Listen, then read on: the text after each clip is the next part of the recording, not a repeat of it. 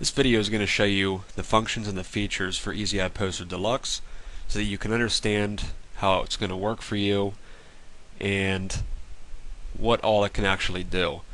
I'm going to stop, uh, start from top to bottom, left to right. Uh, file has just got your basic exit, you can just close it out there.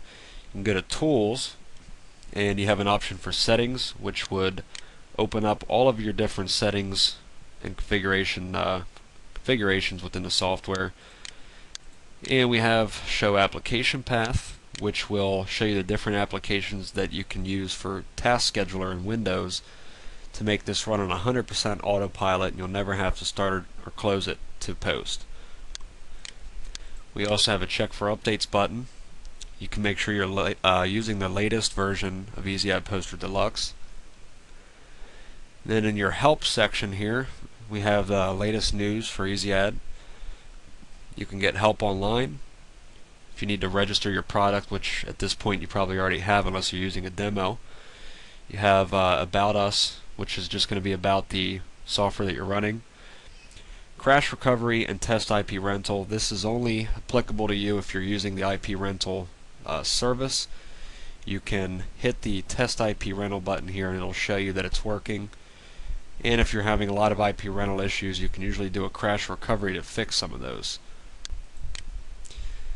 Now we have a Manage Campaigns button with a lot of different stuff in it.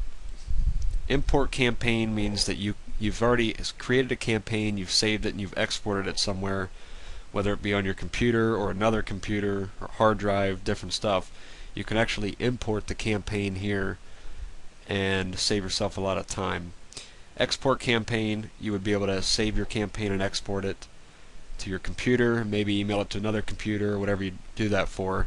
Um, so you have an actual XML file of the campaign. This is where you would create a new campaign under Add New Campaign.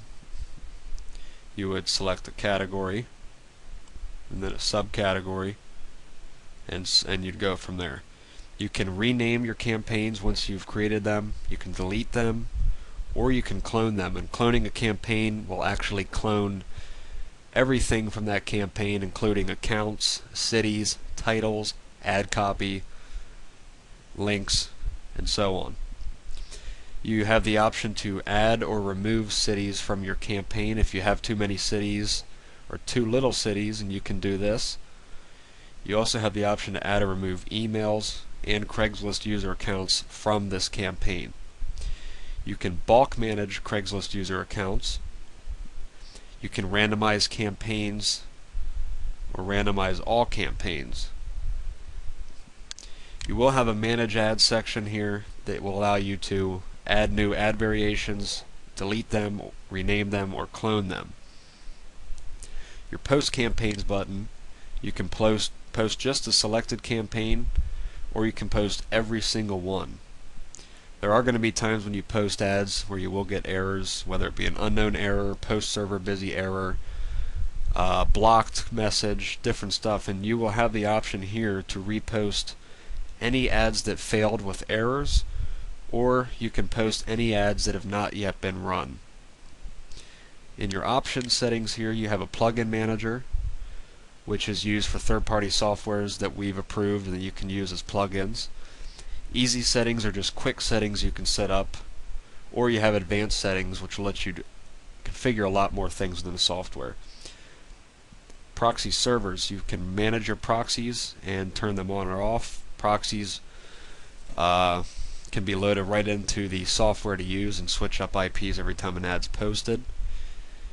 Custom tokens, you can go into a token manager here and actually create different variations of titles, ads, images, links, locations, prices, ages, and so on.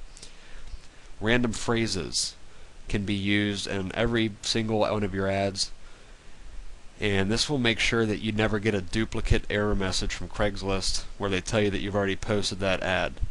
Uh, this will really help you when you want to post multiple ads in multiple cities and categories you have the option to refresh the random phrases so you get a whole new list of phrases or you can import random phrases from a text file or an XML file that you might have created. You have a test run button here which is also called a dry run mode. And if you click this, you'll get a blue box around it. That means that you are in test run mode. This allows you to post your campaign or a city and see how the ad actually is going to look on Craigslist before you post it. Your hands-free mode, this is where you can use uh, CAPTCHA solving from image2text.com. They'll actually type in all of your CAPTCHA words for you so you never have to do that and make it completely hands-free. You have the option to open uh, Windows Task Scheduler here. You can buy and manage credits within Image Text website. Over here you have ad variations which would list all kinds of different variations of ads that you've created within a campaign and you have campaign details. If you select a city from the left in your campaign this will actually give you a quick preview of how the ad is going to look. At the bottom of the software you're going to see a couple different things here. You'll see how many proxy uh, servers are loaded and I have 100 here you should see 0 for now if this shows orangish pink peach color for you, that means that this particular setting is disabled. If you actually turn on or enable proxies, it will turn green, and you want to keep a, an eye on that when you're doing certain things.